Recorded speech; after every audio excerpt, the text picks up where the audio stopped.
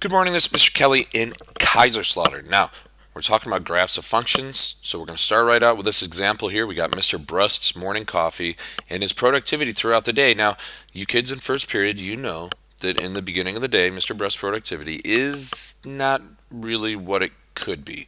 But as the day goes on, he gets more and more productive. Now, classroom anxiety kids are pretty chill in the morning too.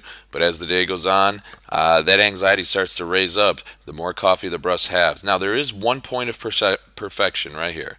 This is where kids are anxious enough to be productive, uh, and Brust is actually working pretty hard.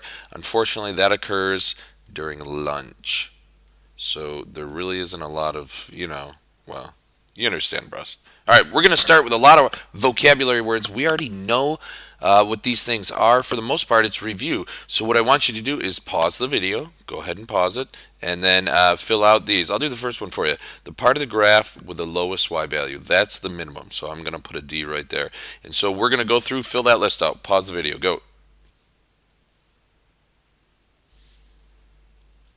Okay, so looking back, hopefully you knew a lot of these different words. Um, so we're going to start with all of the y values that are needed to graph a function. Now the y values, we know that that is the range. Now where the y value increases as x increases. Now what do you think? These aren't trick questions. That is increasing, we're going to say. That's where the function is increasing. Y value is going up. Where the graph crosses the x-axis, that is called the x-intercept. The part of the graph with the highest y value, that is the maximum. And where the y value decreases, what do you think? Decreasing. All the x values that are needed to graph the function, that is the domain. Uh, where all the y value, let's see, where the y value doesn't change, well, that is constant. And the slope, how steep a line is, changing y over changing x, that's what that little delta means uh, counting up and counting over. That is the rate of change. So that's another name for slope. We're going to be talking about that. And where a graph crosses the y-axis, that is the y-intercept. So hopefully all of those were somewhat review, maybe some new words in there. And we're just going to get really good at looking at a graph and finding all these different things and learning how to communicate and write down uh, what these are. So let's just start getting into it. So as we get into this, I'm going to go through these quickly. So if you need to pause the video or go back, you know, make sure you pause the video, re-listen to it, or ask your teacher if you need some help. But let's get going. The x-intercepts, that's where it crosses the x-axis. So we can see that that occurs at negative two and a half about. You know, I'm approximating, but it looks like negative two and a half. Uh, what else we got here? Two so I'm writing it like a point, two, zero. that means over 2 and up 0. And then 8. So those are our x-intercepts. The maximum value, look at the graph, where's the highest point? The highest point is right here, and so that occurs at x equals 10. So I'm going to write that as a coordinate point, 10, 6. All right, the y-intercept, where it crosses the y-axis. Here's the y-axis. It crosses right here at 0, 2, so I just need to write that as a coordinate point. Now, the minimum, we have minimums here and minimum right here. The minimum is the lowest part of the graph. Here is as low as it gets right here. So that's negative 4, 3, negative 4, sorry, negative 4, negative 3. And then we have this whole range right here where the minimum is. All right, so when we have to write a range, we're just going to write that as the domain here from 5 to 7. So here's how we can write that. From 5 to 7. We're going to use a compound inequality. Now if you notice what this says, x has to be greater than or equal to 5, but less than or equal to 7. That means all the way in here we have a minimum and the reason I have to write that is because we have so many points where it's a minimum right there. So we're just going to write that. The y value, we can write that kind of next to it where y equals negative 3. Alright, so we kind of have to write both. We can't write it as a point. The domain. Alright, domain are all the x values. So where are the x values? It starts here at negative 4. Alright, if I graph this, and it goes, we're talking all the x values. So look, all the, so the x-axis that gets used right here all these the graph goes all the way over to this part right here So these are the x values that get used from here to here, negative 4 to 10. So the way we can write that, from negative 4, we write less than or equal to x, or less than or equal to 10. And again, this means that x has to be bigger than negative 4, but x is less than 10. So we're going to use a compound inequality. Now the range, those are the y values. So let's look. The y, where's the lowest y value? We already talked about that. It's right here. And so the y values that get used to graph this, you have to go all the way up to the maximum, all right, which is 6. So we're going from negative 3 all the way up to 6. So the way we can write that is negative 3 up to 6 and it's the same idea but remember we're looking at the y values not the x values so again I'm going to use a compound inequality because it tells everybody every value in between from negative 3 all the way up to 6 that's what the range is. So these are two tricky concepts right here. Domain. It's the x-axis that gets used. Okay what x values do you need to use to graph this? And the range are the y values. So we're looking on the y-axis to graph this graph. We the lowest value is negative 3 and it goes all the way up to 6 all right, so other things we can talk about. Where is the graph constant? Now, constant, if you go back up here, J, where the y value doesn't change when x increases. When we talk about when x increases, that means as we're traveling right on this graph, x is increasing. So we're walking to the right, kind of like Mario and Mario Brothers. You're walking down, and uh, where does the graph not change? And you notice that it's between here, 5 and 7. So I'm going to write from 5 to 7, the graph is constant. It's that simple. Decreasing. Okay, decreasing means as x increases, y decreases, going downhill as you go from left to right. Now, students will get confused because they'll go the opposite way and they don't know what's going up and what's going down. We're always traveling to the right. And so this graph decreases from here, you go downhill to here. The rest of it is either staying constant or increasing. So again, we're going to write the domain down. This occurs from negative 1 all the way to 5. So we can kind of write it, if you notice how I write that quickly, from negative 1 to 5, x has to be in between. That's where it's decreasing. Now, it increases. Where does it go uphill? Well, two places, from negative 4 to negative 1. So negative 4 to negative 1. And again, check how I'm writing that out quickly compound inequality. x has to be greater than or equal to negative 4, but less than or equal to negative 1. And it also, from 7, it's increasing all the way to 10. So from 7 to 10. That's where the function is increasing. If you notice, as you go right, it's going up. Positive. Where is this function positive? That means where is it above the x-axis?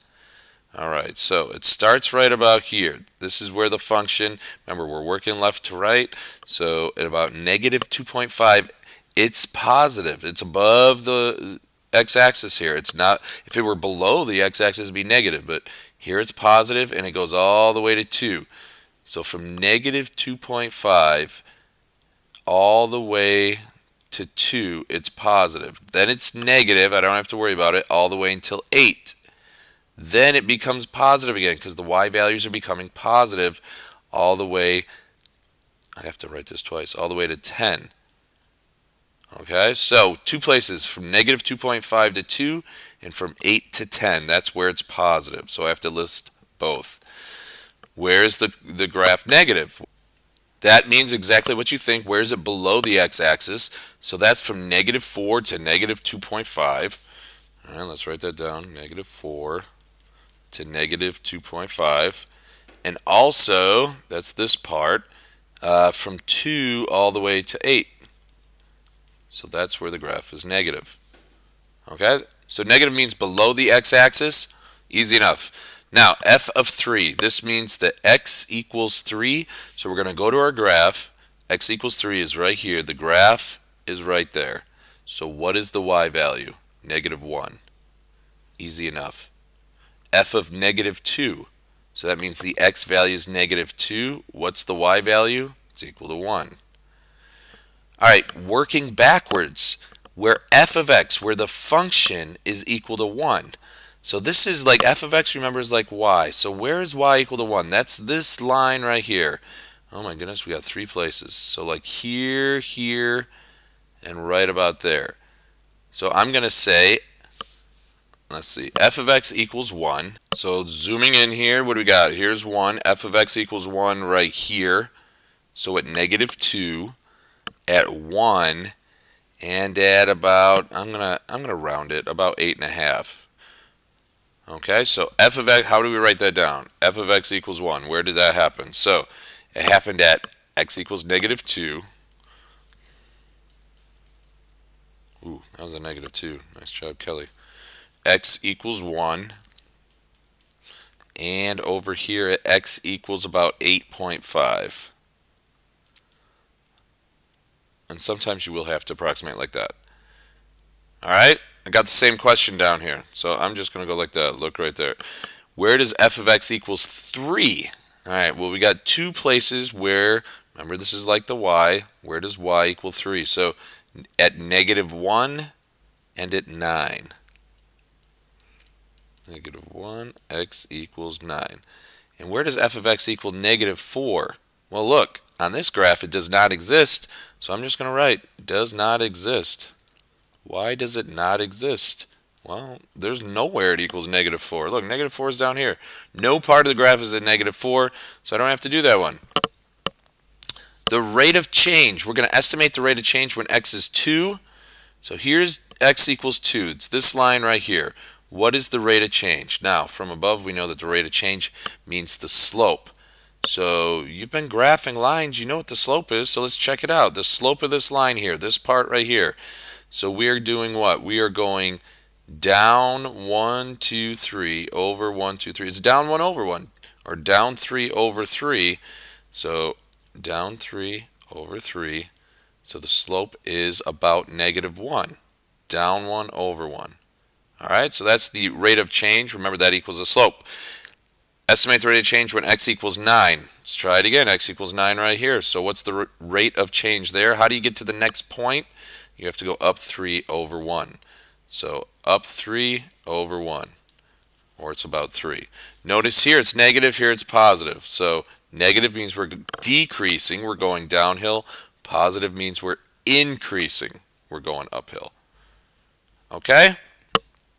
So here's what I want you to do. Pause the video, do this whole graph by yourself. Ooh, that's a lot of work. Pause the video, go ahead and do example two. It's just the same thing. Go ahead. Go. Pause the video. Okay, so I've filled out most of it here. You can check your answers. I think the most difficult part, the domain here from negative 7 to 7, the range, that's the y values that get used. So negative 5 and the highest point is 5, so we use all the values in here when we graph it. So y has to be between negative 5 and 5. The function is constant right here. Okay, so that's between 5 and 7. The rate of change when x equals negative 2. Here's x equals negative 2. The rate of change. That's not really a good point there, so I went back to this point and this point, and I used those two. So I need to go up 7 over 2. So that's the rate of change there. Where's the function decreasing? Remember, we're always walking left to right. So we're going up, we're going up, we're going up. Here's one point of decreasing, so we'll say from negative 1 to 1. Let's write that down. and then it goes back up again and it's decreasing from 5 oh I'm sorry from 3 it's the x values 3 all the way to 7 so those are the areas where it's decreasing. Where is it increasing? Well it starts here at negative 7 and it goes all the way up. This is where it's non-linear okay? Here's where it's linear. So we have to know the difference. We have two parts of the graph but it increases all the way up here all the way at negative 1, where the y value is 4, it increases. Then it starts again at 1 and it increases all the way until we get to x equals 3. So those are the values where it's increasing. Okay, so let's just remember there are parts where this is non-linear because it's not a line. And this part right here is linear. But we already know how to do that. We know how to do that from before. All right, last one. Uh, Sully made a quick trip to the local library. On his way home, he stopped for some ice cream. Here's the graph. Okay, where's the graph increasing? All right, so the graph is increasing from 0. So this is time in minutes. We're looking at the distance. All right, so the time has to be, it's not x anymore, but the time has to be between 0 and where did it go? It's increasing right here, which is 5. Okay, so what is happening at this time? Oh, he's walking to the ice cream shop. So let's write that down. So easy enough there. Uh, explain what the x-intercepts mean. So in this situation, we're going to ask you about using context. And in context means this problem right here. So the x-intercepts are at 0 and 15. It doesn't ask what they are. It says explain what they represent. So here they represent where the distance is 0, the distance from home. So these represent, ooh, gotta represent when Sully is at his house because the distance is zero. Okay, so if the distance is zero, that means he's home. So the x-intercepts represent when Sully is at his house. The y-intercept, all right, well the y-intercept is what? It's the same point, right? But what does it represent? Where the distance, because that's what the y is, is zero. So that represents when Sully hadn't left yet to get his ice cream. All right, where's the distance constant? Well, from minutes. What are we going to say here? Uh, constant right here at the top, and it's also constant right here. So we're going to say it is constant from about, we got to find the x value, or the t value here, minute 5, all the way to minute 9. So from 5 to 9, and we're talking t and also from 11 to about 13. So we're writing it with our compound inequality. Estimate the rate of change 10 minutes after Sully started. All right, 10 minutes, this, this shop right here, and we have to estimate it. So I'm going to say the best way to do this, I'm going to get a point right here. So this is the point 924, okay? A little, we're approximating, and then it goes down to this point right here, I am looking, does that look like 12? That looks like 11. So the point 11, 12. So now we can estimate his rate of change. He's going to go down 12, right? He's going from 24 to 12. So he's going down 12 if he goes over how many? 2. So that is negative 6.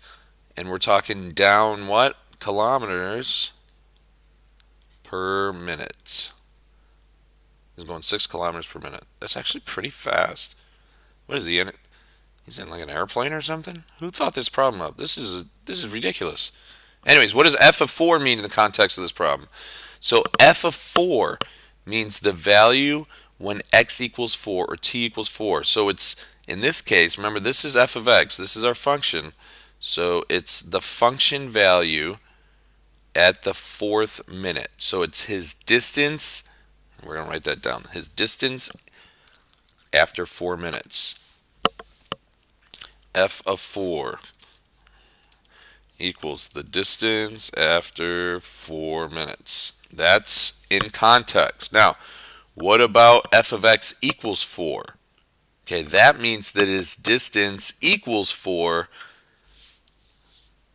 so that's what that means in context. So f of x, ooh, how are we going to write this? f of x equals 4 means the distance is equal to 4.